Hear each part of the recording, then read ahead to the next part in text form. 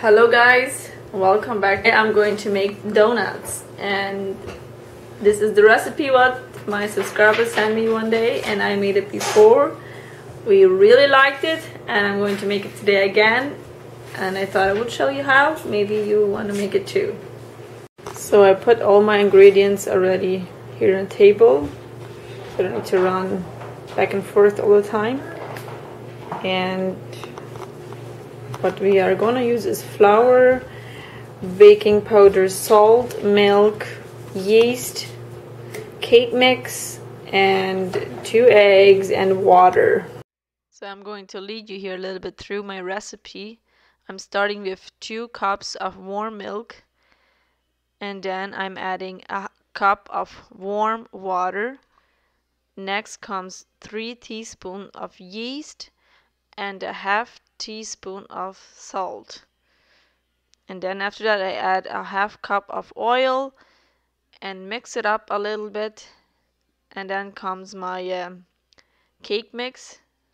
It says a half bag or a half package of cake mix. I'm not sure if I did enough, but uh, I tried however I thought. And then once I had added my cake mix, I noticed that I forgot to add my eggs. So I think they should more be put into my recipe at the beginning but anyways I added them now almost at the end. And after I add the eggs I stirred it a little bit and then comes the flour. It's seven cups of flour and two teaspoons of baking powder. And I'm mixing it up again and adding more flour and mixing it up and uh, it was a little bit uh, soft. Like I I'm not sure if I I think I add more flour than I should and it was still a little bit soft. I'm not I think I might have not put enough cake mix in there but anyways it was working.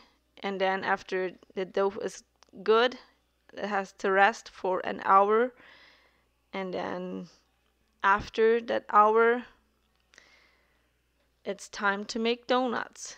And it was still now very, very uh, sticky and soft or I was just adding more and more flour and it turned out pretty good. It did not bother anything that I added more flour.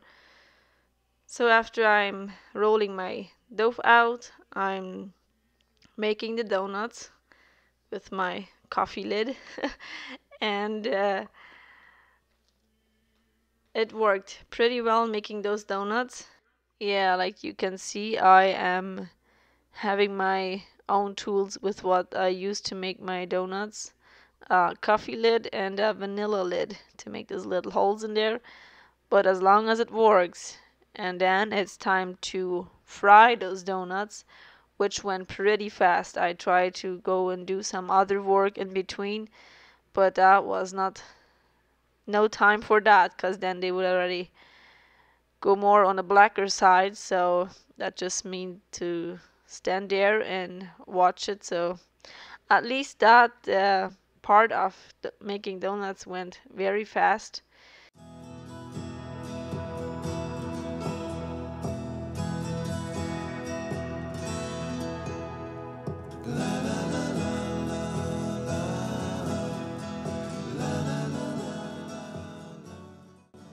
Now comes the icing to the donuts and what I need is one cup of sugar and three to four tablespoons of maizena and then I'm mixing that with the sugar a little bit.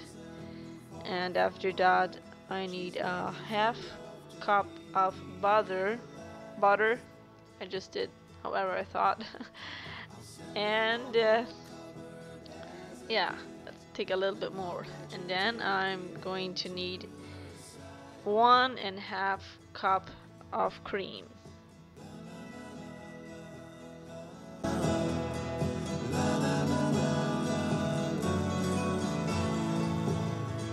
Now I have it on the oven and yes it means stirring again because otherwise it will burn on. It did actually a little bit And now we dip those donuts in the delicious icing. And let me tell you, those donuts were very, very delicious. My family really loved them, and I did too. I'm definitely going to make these more often. And if you decide to make them, please let me know how it turns out. Thanks for watching and I'll see you on my next video.